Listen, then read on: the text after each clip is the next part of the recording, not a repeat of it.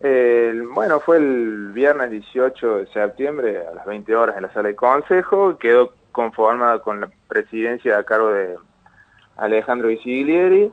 vicepresidencia primera eh, Cecilia Migotti y vicepresidencia segunda Sergio Aguirre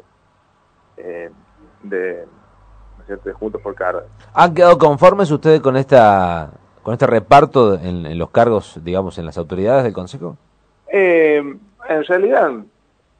no estamos de acuerdo en la forma que se desarrolló, digamos, la asignación de los cargos, porque entendemos y teniendo en cuenta el precedente que hay históricamente, no solamente en el Consejo de Carolla, sino lo que es en la legislatura, en el Senado y en el Congreso de la Nación, la vicepresidencia segunda le corresponde siempre a la primera minoría, que en este caso sería el radicalismo, porque fue que salió segundo en la, en la elección del 26 de julio. Claro. ¿Y por qué creen que no les dieron ninguna ningún cargo, digamos?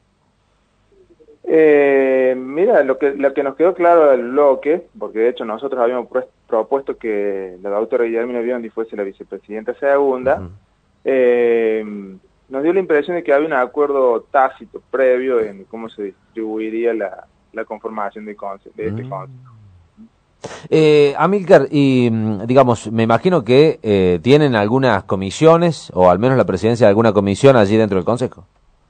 No, eh, ninguna presidencia, o sea, todas las tiene el oficialismo, este,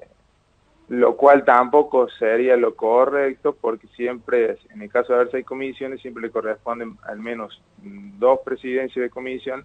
a las, a las minorías que conforman el Consejo.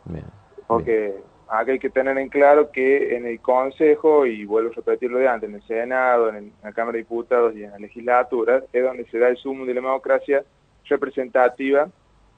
¿no es cierto? Este, porque ahí está conformada la representación popular mm, a través de, lo que la gente eligió con el voto, donde estamos todos ahí, o sea,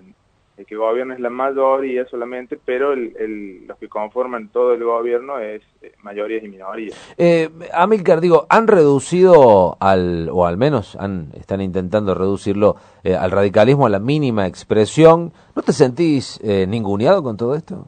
Bueno, esa fue la sensación que nos quedó, o sea, después de eso, mm, una sensación poco agradable porque tengamos en cuenta que en el caso particular, por experiencia anterior, cuando nos tocó a nosotros ser oficialismo en el 2007, la vicepresidencia segunda la tenía el justicialismo, en este caso eh, Gustavo Brandan, este, y como vicepresidente segundo y eh, bueno, las comisiones, la de Hacienda la presidió el concejal Mario Rojas, ¿no es cierto? Eh, y, un, y, y, una de las presidencias de las comisiones de obras públicas la tenía Miriam Claro en su momento, o sea, Bien. es decir, un reparto equitativo porque justamente es un poco eh, reconocer la la participación popular que hubo y la representación que tiene el, el, concejal que asume, ¿no es cierto? no, no se trata de ningunear a nadie acá y, y esto es una cuestión técnicamente y institucional.